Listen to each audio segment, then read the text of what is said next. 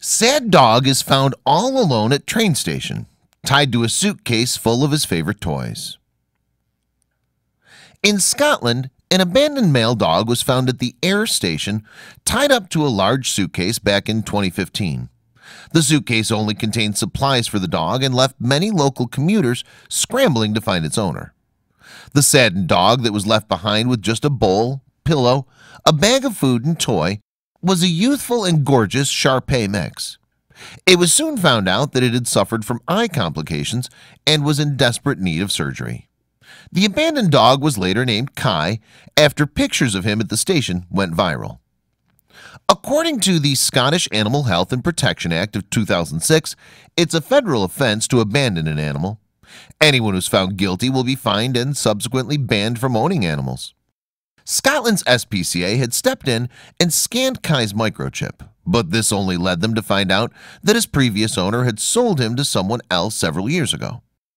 As Kai's heartless abandoner was left a mystery Many people were now swarming in to adopt the handsome pup. A few months after Kai's story went viral a British newspaper had found the woman who had allegedly left Kai at the train station the woman had said that she went to buy the dog at the station But it looked nothing like the online advertisement So she refused to buy it. The man who was selling the dog immediately took off in his car and left the woman with the dog.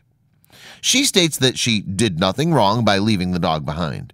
She had to catch the last train to rush home to her daughter who suffers from severe asthma.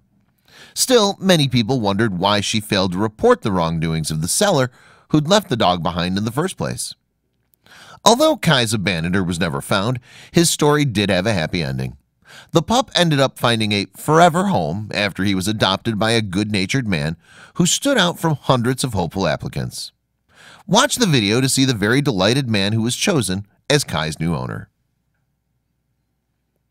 What are your thoughts about Kai's story? Do you know a dog that's been treated badly and found a great home in the end?